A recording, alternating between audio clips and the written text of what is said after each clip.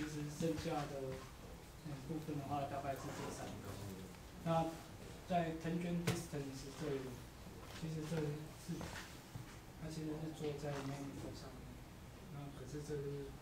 比较久以前的，想说这里可能需要说决定要看哪几个方法在上面去看。那至于前两项的话，我们没有讲到前两项，那我这里稍微大概讲一下。在 early starting，其实这个是一个还蛮，就是也是很简单的方式，然后当然跟你的 algorithm 是没有什么关系的，那是因为它，它其实就是固定固定的次数，避免 overfitting。那当然一开始的话，你会需要一个 validation set，那用一个 validation set 来决定说，哎，你这个问题到底要劝到什么时候，它的真正它的 test error 才最好，然后所以用那个次数来 control 你之后的 training。那他这里要提到另一个方式，就是说你想要全部的 data 都用，因为一如果你用 validation set 的话，你可能就是 validation set 拿出来。他说你要全部的 data 都用的话，你可以就是把所有资料加进去，一就是继续 train，train 到 training error 跟那时候踹出来的那个嗯 test，就是那时候的 error 越接近越好，就是不要让它再 training error 再下去，所以你就会有一个 training error 的一个标准在那边。然后所以这是两种 early stopping 的方式，一个是用次数，一个是。一个是用 training error，那所以这里其实就是，嗯，当正就是要用的话，就是不管什么方法的话，就是都可以搭配使用。你讲的次数是，你可以的，它是次数吗？它应该是 validation 的 accuracy 达到最高点的时候。的次数。哦，的次数。哦，OK，是那，就是那那一次的那个的参数嘛，对不对？对，那是对啊，这其实就是一一般来讲，就是大家劝到一个时候就不要再劝。那当然就是，也许想要用所有 data 的话，就圈定内容到那个位置，就不要再让它 over 一点。那这个东西的话，嗯，其实他们大家会想说，哎，那这个也是个 regularizer，那大大家一开始就会先想说，哎，跟 wave decay 会不会很接近？那其实它是跟 wave decay 会有点接近。那在可以看到 Bishop 的那 paper，它里面就是有特别去推导这个。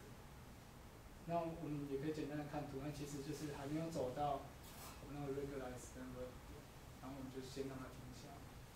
那如果要用比较像推导方式的话，不好意思。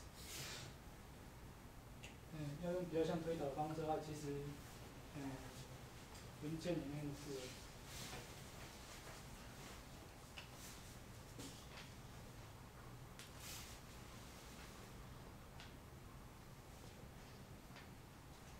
那它其实就是因为是因为跟次数有关。而每一次都是用鬼点式去做，那所以我们就是看说，一抛次跟抛减一次，就是从抛减一次，然后做这个，嗯，这个，这个 step 之后，然后会得到下一次的结果。然后这样子做，做这个结果，其实因为次数是有限制的，然后我们走的距离也是有限制的，然后他之后会跟，跟微 decay 的。试纸去做比对，那所以其实就会觉得是非常接近的东西。那他他在这里会做一些就是比对说明。那其实所以 early stop 当然就是直觉上蛮容易了解，就是不要让它到 over b。然后如果要硬要说它跟什么 regularizer 比较像的话，也许可以透过这个方式去跟他去跟 v decay 结合在一起。就是做一个类比。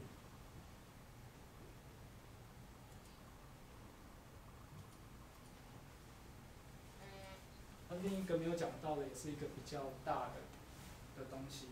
那这个比较大的东西，我是建议可能也是要不要借由特别的方法。那我们可以先来看这个 adversarial example 的概念。那就是其实这种 example 的意思就是说，我们确定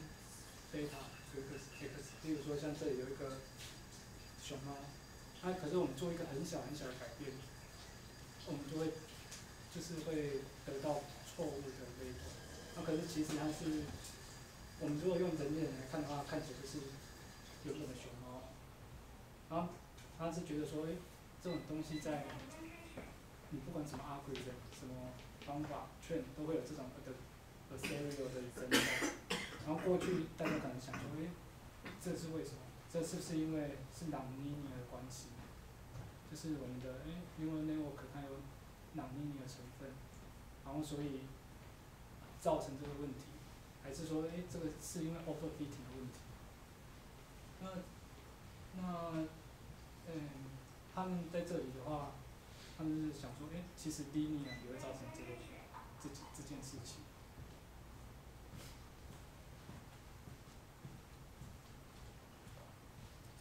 那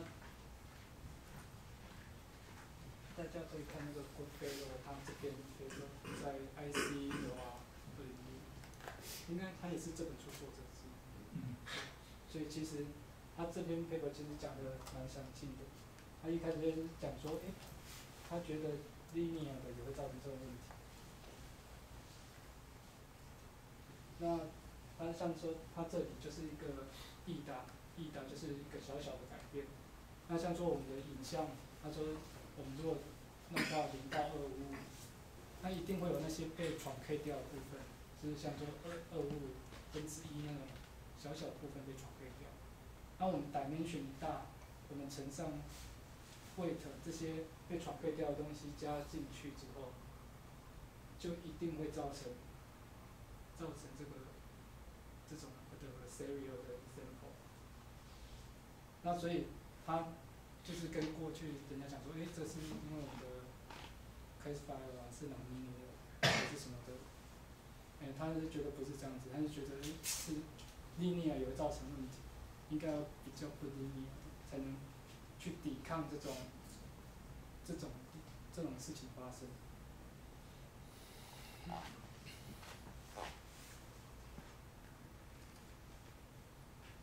那它其实主要有用了一个找这种 example 一个嗯比较快的方法，那它其实方法还算就是容易理解，它其实在 x 的方向作为一个，然后去对这个方向去加上一个值。我们直接看这个 turn，它其实是对 x 方向去做一个，它这样其实我们就很容易找到那些这种 example，然后再进行这种 adversarial 的处理。但是做完分之后再取 sign，它的正负号位。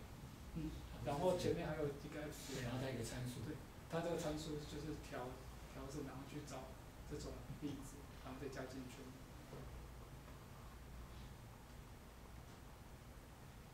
嗯，所以他们其实这他们那边那个其实主要的精神可以看这张图。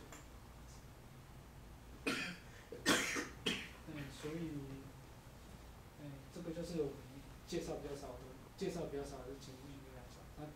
tangent 这个。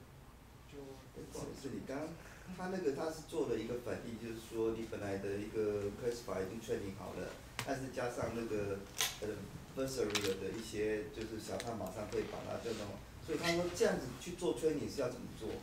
他是有些是加在加在那个 objective function。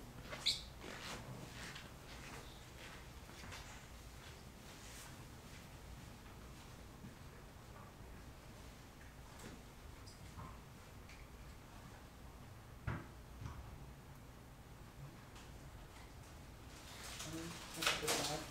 到 objective function 里面当一个就得到一个。所以我就想说，嗯，大概，嗯，这样子能大概讲一下概念，如果要详细的话，可能还会特别再准备。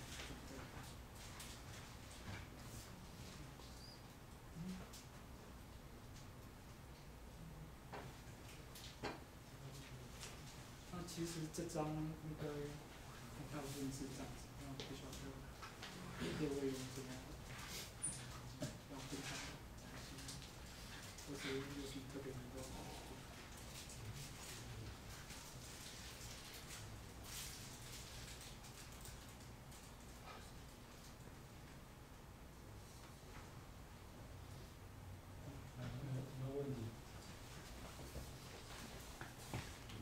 资料可以 share 出来？我当然会去啊，可以 share，嗯，非常好，谢谢。就是之后会再传上去那个。所以我这一章我的感想哦，大家可以看到，为了去做 regression，就是开发出来很多的工程方法，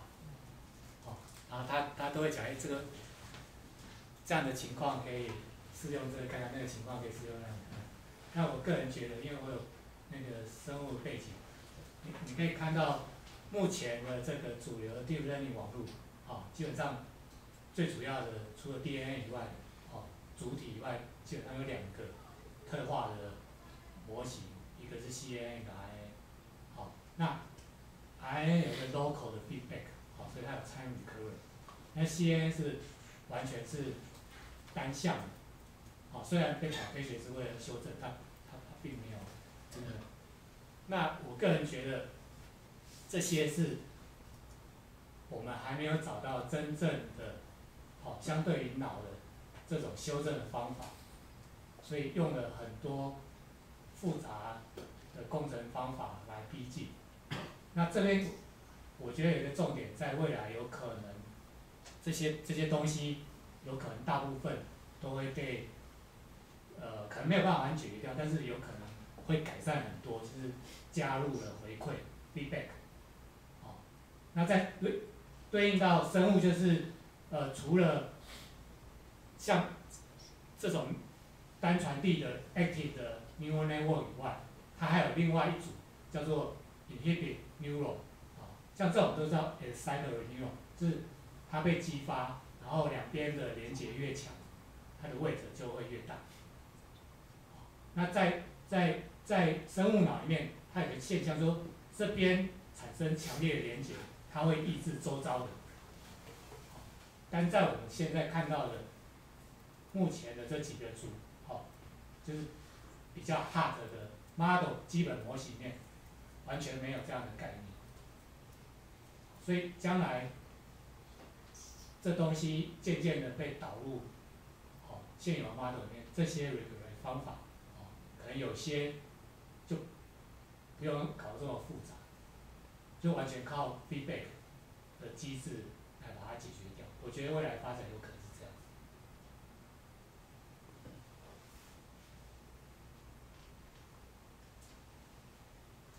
就是我我一点小小的那个感想。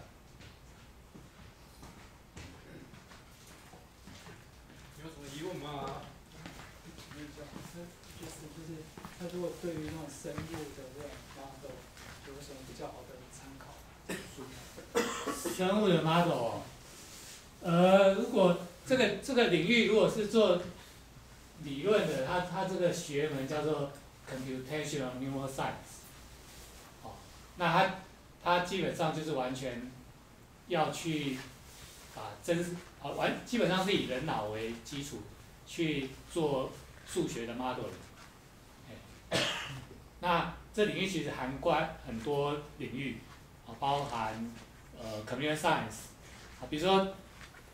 最近那个那个 Giorgio Benjio 哦，他出了一篇 paper，其实就是要 approach 哦，一个叫做呃 spike 呃 time dependent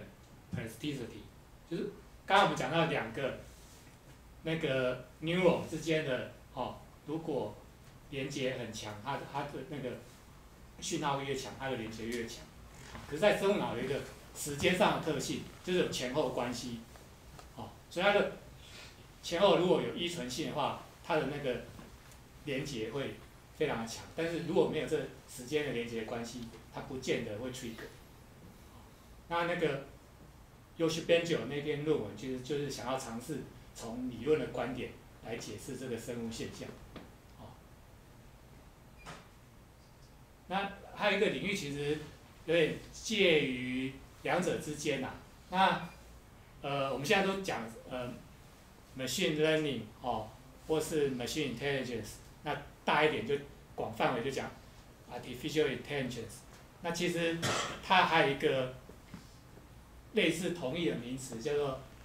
computational intelligence。哦，那这个领域，其实跟刚刚讲几个 term 其实可以画上等号。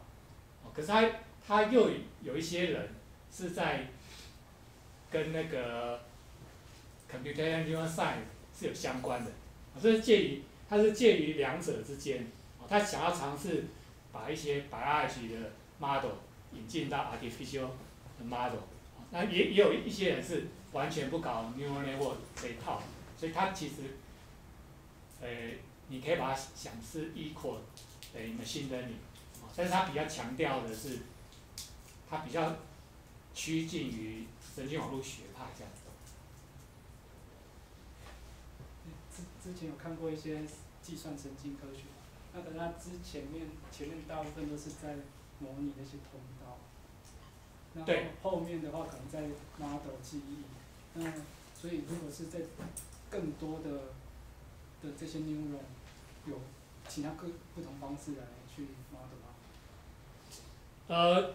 你你你刚刚讲的，它是基本上是已经是细胞层次的 modeling，好、比如说有一个叫做 Hodgkin，呃 h a s h i l y 哦，记得好像是 Hodgkin h a s h i l y 的 model，它是在模拟一个神经元它的离子通道哦的模型。那如果你是要看网络的话，就我上次第五章讲的时候，最后有稍微提到那个 spiking neural network。它就是以整个网络的形态，但是这个领域其实是一个集合，哦，它它它的 spinning 的话它光是那个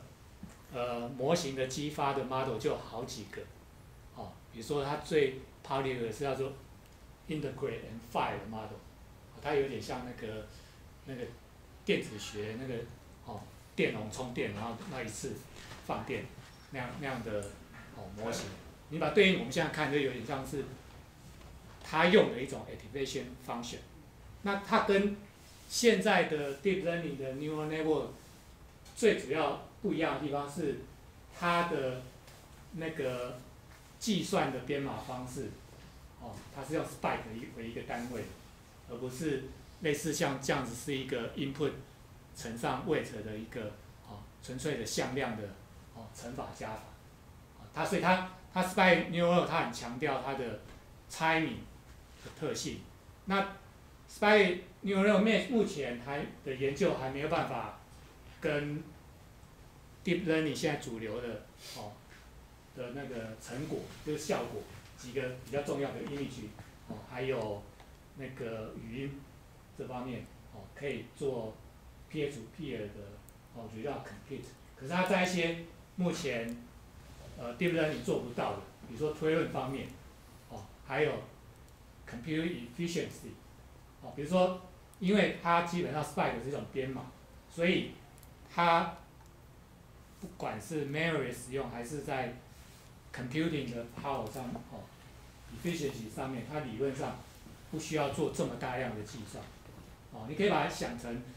呃，现有方式就是有点是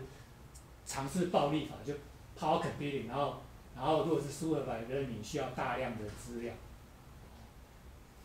那 spiking neural 你又只是只是套用，其他都不改的话，那你说你有点像在做 compression。哦，现在有些方法，它尝试要在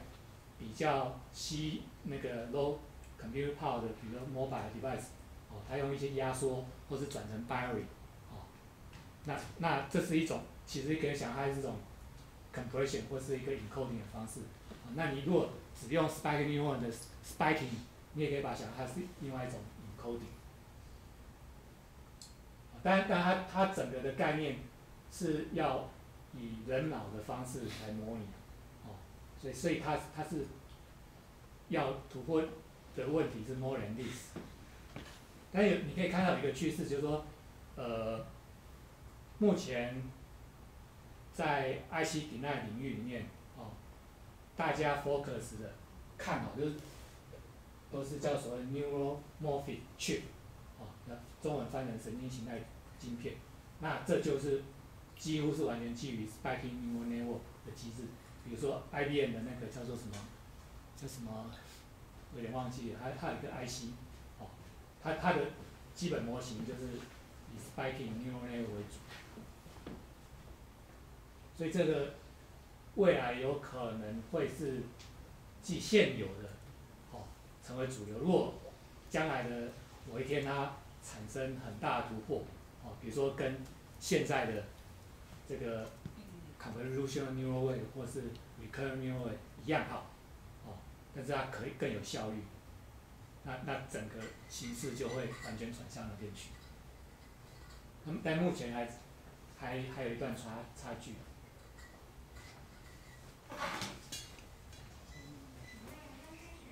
哎哎，那还有问题吗？那就可以来准备拍下次的时间。